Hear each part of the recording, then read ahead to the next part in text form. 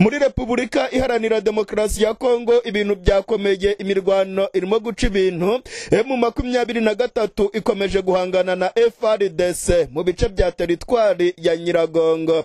Ubungubu abarwanyi ba emu makumyabiri na gatatu barimo kugenzura agace ka kibumba ndetse umuvugizi wa emu makumyabiri na gatatu mu bya gisirikare majoro wiringoma amaze kubwira abamenyesha amakuru ko emu makumyabiri na gatatu ariyo irimo kugenzura kibumba ku bindi byose birimo gutangazwa na faridese ari ikinyoma.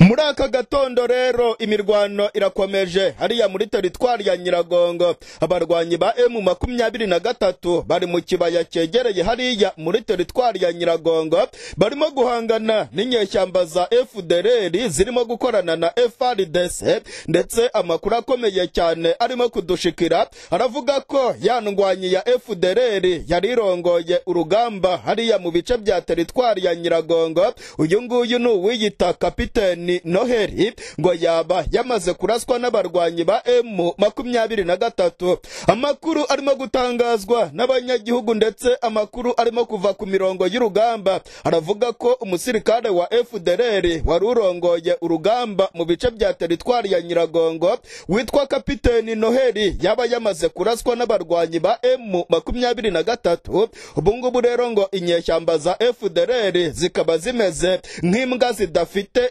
shebuja zikaba zirimo kwirukanka zihunga urugamba kubera ko kapiteni noheli wari uziyoboye yamaze kuraswa n'abarwanyi ba emu makumyabiri na gatatu nubwo emu makumyabiri na gatatu itaragira icyo itangaza kuri aya makuru.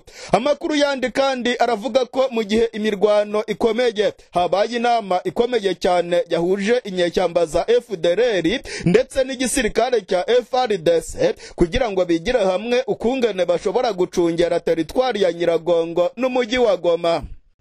Mu itangazo rikomeye cyane ryashyizwe ko umukono na emu makumyabiri na gatatu emu makumyabiri na gatatu iramenyesha abanyagihugu ba kongo ndetse n'amakungu ku butegetsi bwa kongo ndetse n'igisirikare cya frdc bakomeje gukorana n'inyeshyamba za fdr zasize zikoze jenoside mu gihugu cy'u rwanda. Emu makumyabiri na gatatu iravuga ko habaye inama ikomeye cyane ku igenekerezo rya cumi na gatatu. Abayobozi b'igisirikare cya kongo barimo generali ciko citambwe ushinzwe ibikorwa mu gisirikare cya frdc ndetse na koroneli njike bahuye n'abarwanyi ba fdr aba barwanyi ba fdr rero bakaba barahuriye mu gace ka kanyarucinya ho muri teritwari ya nyiragongo.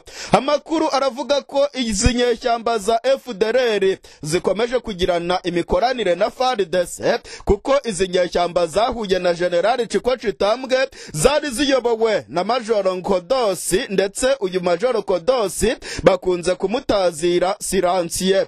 Majoro nkodosi yagiranye ibiganiro na generali ciko citambwe urongoye ibikorwa mu gisirikare cya faridese ndetse na koroneli njike. Amakuru avuga ko bize ku kungene bashobora gusubiza inyuma ibitero bya emu makumyabiri na gatatu ndetse ngo bakaba bafatanya mu bikorwa bikomeye byo gucungera umujyi wa goma kugira ngo utagwa mu minwe ya emu makumyabiri na gatatu. Ku mugaragaro izuba riva. Igisirikare cya kongo gikomeje gukorana n'abaterabwoba ba fdr ibingibi ni ibintu igihugu cy'u rwanda cyagiye cyamagana ndetse kikihanangiriza. Repubulika iharanira demokarasi ya kongo kudakomeza gufatanya n'aba bicanyi bo muri fdr ndetse no kudakomeza kubaha intwaro ndetse igihugu cy'u rwanda kikaba cyarihanangirije igihugu cya kongo kureka gukomeza guhungabanya umutekano w'u rwanda bakoresheje izi nyeshyamba za fdr ibintu birakomeye cyane rero ubutegetsi bwa kongo bwavuniye ibiti mu matwi.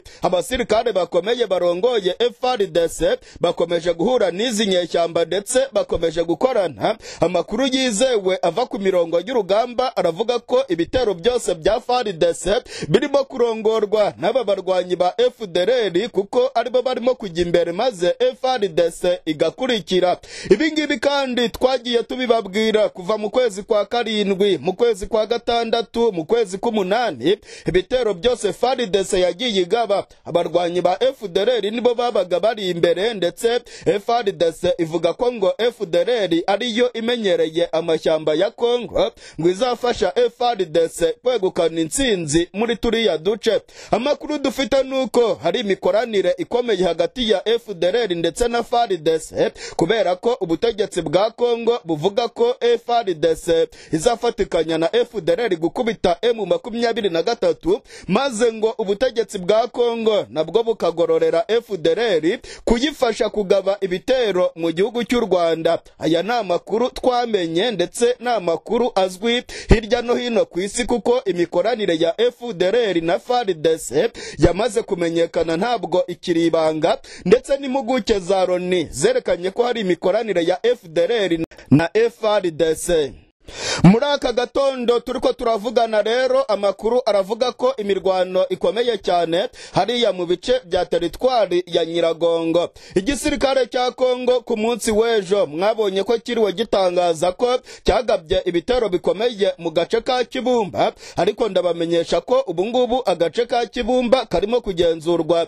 n'abarwanyi ba emu makumyabiri na gatatu nyuma y'aho mu ijoro ryakeye aba barwanyi bakubise inyeshyamba za fdr ndetse n'abamayimayi maze abasirikare ba generali sultani makenga bagahita bigarurira aka gace. Imirwano rero irimo gusatira umujyi wa goma. Inyeshyamba za fdr ndetse na fardc amakuru twamenye nuko bashinze ibirindiro bikomeye cyane mu birometero bitanu uvuye mu marembo y'umujyi wa goma. Ibingibi ngo bigamije gukumira abarwanyi ba generali sultani makenga. Igisirikare cya kongo ndetse n'abategetsi bo muri kongo ku munsi w'ejo batangaje amakuru. Bavuga ko ngo abasirikare b'u rwanda ari bo barimo kugaba ibitero muri biriya bice byo muri teritwari ya nyiragongo. Hari amakuru yakwiragijwe n'abamenyesha amakuru bashigikiye uruhande rwa leta bavuga ko ngo abasirikare b'u rwanda barimo gukoresha urubibe rwa kabuhanga rurimo kugenzurwa n'abarwanyi ba emu makumyabiri na gatatu maze ngo bakinjira mu burasirazuba bwa kongo gushigikira emu makumyabiri na gatatu. Aya makuru ariko ni amakuru atangazwa na faridese mu gihe nta cyemeza ko koko abasirikare b'u rwanda baba bari ku butaka bwa repubulika iharanira demokarasi ya kongo.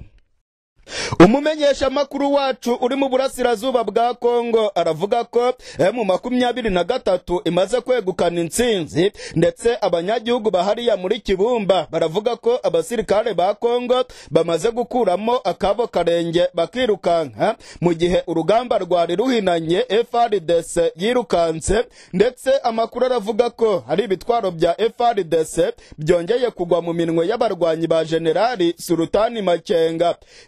Imirwano yari ikomeye. Ndababwiza ukuri imirwano yabereye muri kibumba yari ikomeye. Amakuru aravuga ko abasirikare ba kongo bagera kuri cumi na bane bitabye imana muri iyi mirwano.